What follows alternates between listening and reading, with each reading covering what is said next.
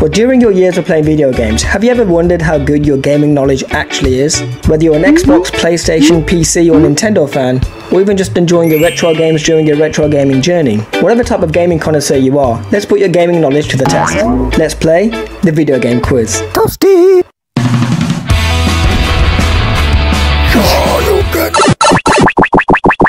Get ready. Go, go! What was Mario's original name? Was it Spaceman, Super Mario, or Jumpman? The answer is Jumpman.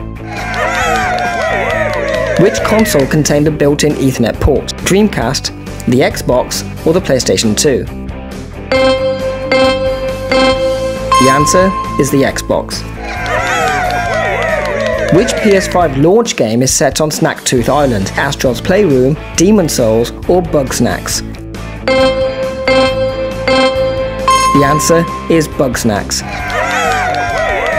Which was the first console to be a Blu-ray player? PlayStation 3, the Xbox 360, or the PlayStation 4? The answer is PlayStation 3. Which Tekken game introduced Panda?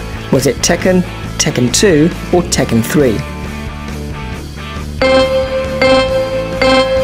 The answer is Tekken 3. Who was considered Sega's first mascot? Was it Kid Chameleon, Sonic the Hedgehog, or Alex Kidd? The answer is Alex Kidd. In which decade did PC gaming start? The 1960s, 1970s, or the 1980s? The answer is the 1960s.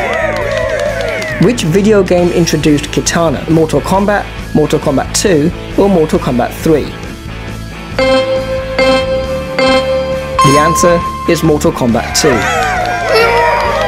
Halo was originally planned to release on Apple Mac, Windows PC, or Xbox.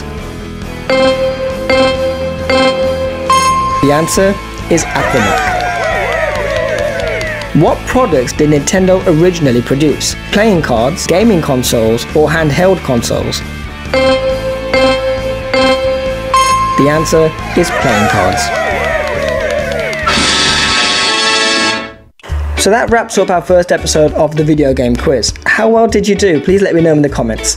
I'll be doing another video on another 10 video gaming questions, so please do like and subscribe and stay tuned for the next one. Peace.